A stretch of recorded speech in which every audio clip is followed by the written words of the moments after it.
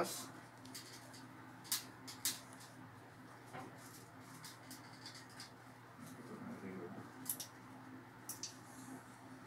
tapos matuyo,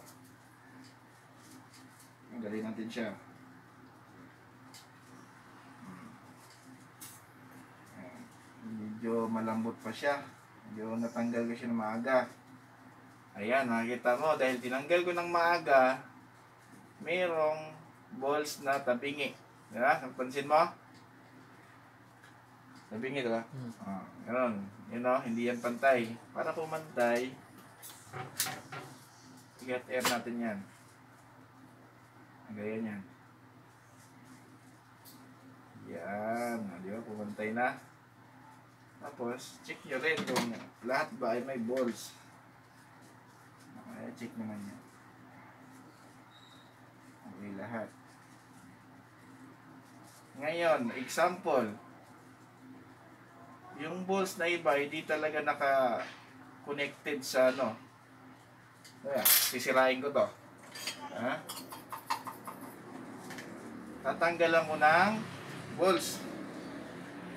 Dito sa, halimbawa, saan, dito magtatanggal. Dito. Okay, na-deform ko na, wala na yan.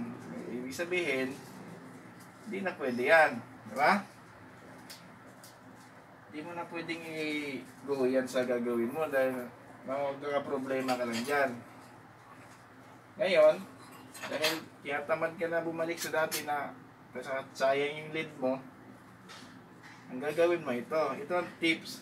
Huwag mong burahin lahat kahit may isa ka sablay dyan. Huwag mong burahin dahil sayang yung lead mo. Kasi bago yan eh. Ang gagawin mo, linisin mo lang ang tiner o kaya alcohol. Ayan.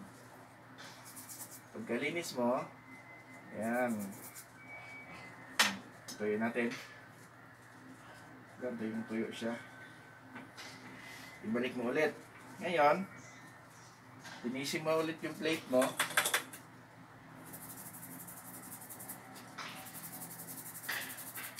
Ayan. Hatirin natin para madaling matuyo. Pagkalinis mo, dahil kulang yan, nakita nyo, kulang na yan.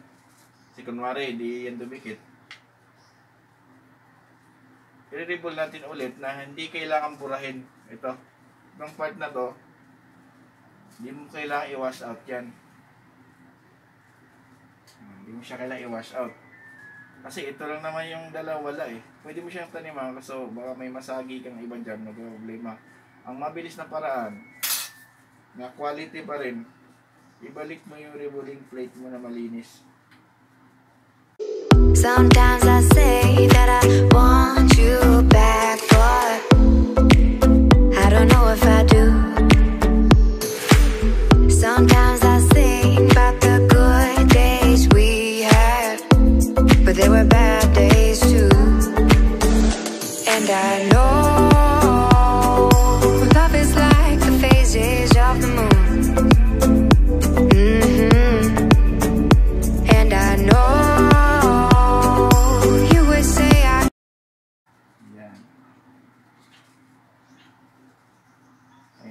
Ayan.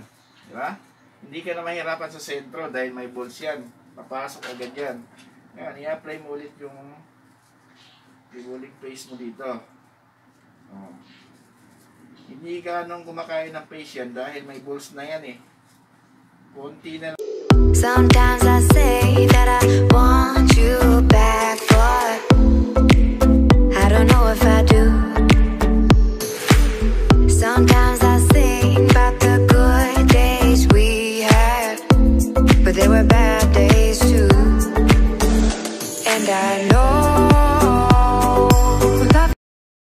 kinakain yan.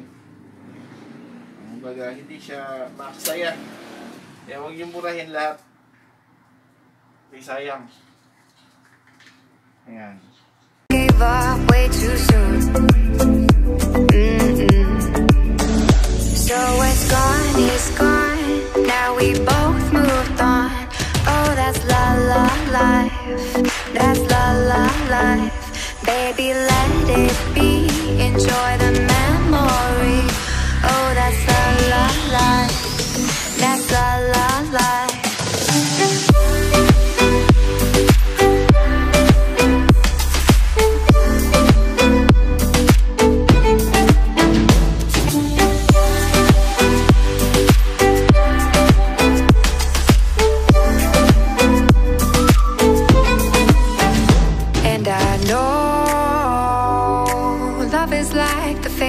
the moon.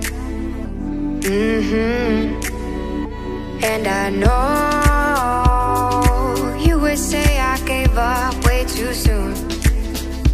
Mm-mm. Yan,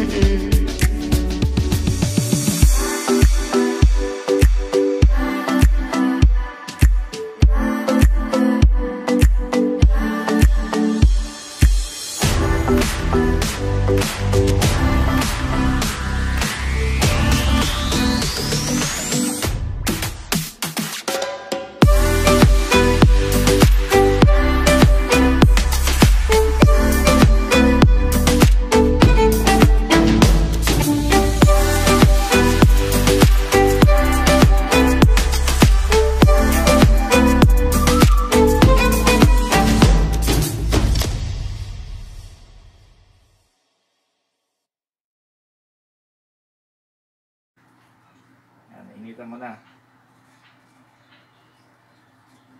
Kita nyo?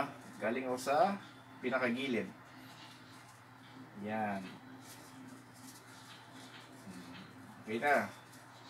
Kapit na kapit na yan. Kung gusto niya sigurado, lagyan niyo ulit ng blocks. Pero sa akin, sigurado na yung sa akin. Hindi na akong lalagay. Patuyuin ko na lang. Antayin natin matuyo. Yan. Okay. Tingnan tuyo na. Okay, tuyo na. O, tatanggalin na natin siya sa sa ganyang agandang resulta, pwede mo lang kamayin sa likod. Kukuhin mo na lang, oh. I-bend mo konti yung board, tatanggal na yan. Ayan, oh. Diba? Tanggal na. Easy lang. Ayan, oh. Tapos, i-brush natin ngayon. Hmm. Ayan. Para makita nyo yung pinaka-resulta, pakita ko lang sa inyo. Ito. Hmm. Diba? Oh.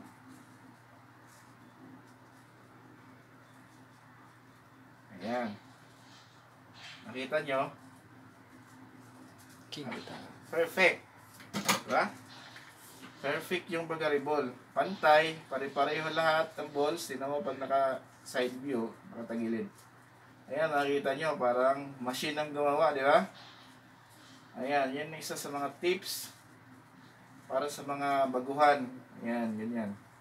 Para sa mga datihan, alam na nila yan. Ayan. Easy lang, di ba?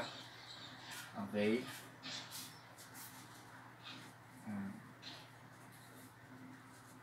Okay. Tapos na. Okay, ganun lang. Ganun lang ang tamang pag-revolve ng IC. Di ba? Napakadali lang. Kailangan mo lang ng tissue. Ah, ito, soldering wick, pang erase. No? Solda. Revolving paste. Tweezer. Revolving blade, spatula. Thinner o kay alcohol. Ganun lang kadali. Okay? Maraming salamat.